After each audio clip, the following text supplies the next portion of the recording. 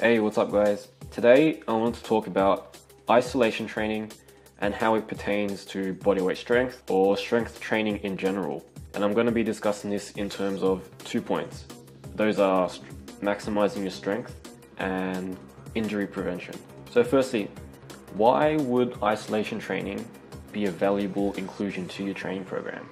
Number one, increasing your strength and addressing particular deficits in regards to say muscles that are lagging behind.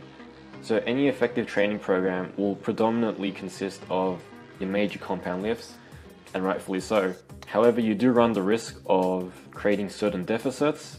Say you might have muscles or body parts that are lagging behind, and not addressing those would be a major misstep. Your body will be held back neurologically if it does notice a deficit. Isolation training can definitely address that weak point. So in the example of pull-ups, you might be back dominant and maybe your bicep isn't getting as much attention as it should be.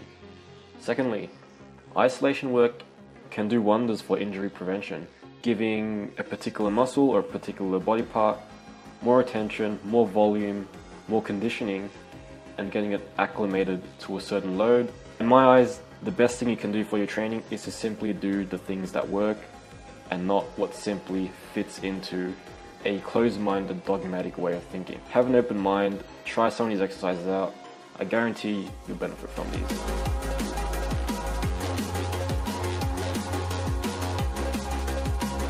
The bodyweight tricep extension. Absolutely phenomenal exercise for development of the tricep, getting those hypertrophic changes, especially as a finisher at the end of your training session. You want to ensure that you have full body tension. Uh, this will ensure that you're getting correct force transfer to your upper body. You want to ensure that your core's tight, your glutes tight, that you're keeping your elbows tucked in. Be mindful if they begin to flare out.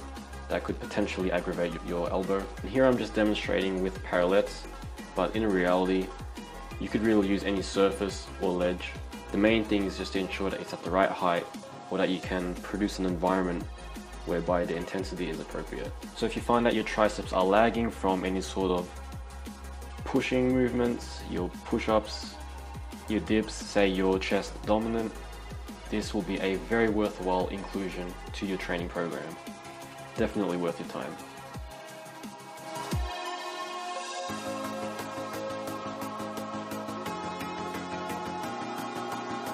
So next up, the bodyweight bicep curl. Now I'm demonstrating this on gymnastics rings, which is excellent for replicating that movement pattern that involves flexion of the elbow and flexion of the shoulder. So functions of the bicep, uh, which crosses both the elbow and the shoulder. You want to make sure that you're doing elbow flexion and not turning this movement into a row. So with the row, you're emphasizing extending at the shoulder. With the bodyweight bicep curl, you're flexing at the shoulder and the elbow. You want to make sure you're getting a peak contraction at the top. With every rep, you can eventually work on single arm bodyweight bicep curls. So I threw this here just as another option. You could use a barbell, but chances are if you're in the gym, then you probably do have access to dumbbells, which is obviously an easier alternative. Let's look at the rear delt fly. With most overhead pressing in general, you're getting a lot of activity in the anterior and lateral delt, but very minimal activity when it comes to the posterior deltoid. What we know for injury prevention, what we know about structural balance, maintaining balance of the entire shoulder is essential, and this isolation movement is a great way to address that. Very simple execution, straight arms, controlling the full range of motion. You don't want to use momentum and use an excessive bend of the elbow. Now with this exercise, decreasing your leverage makes the exercise that much harder, that much quickly.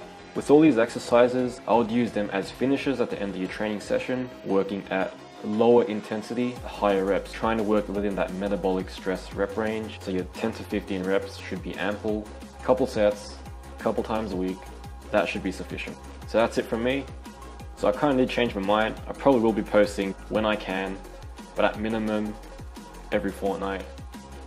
Uh, like the video, subscribe. It really does help promote this channel. It's a very small channel. I appreciate it. Cheers guys. Take it easy.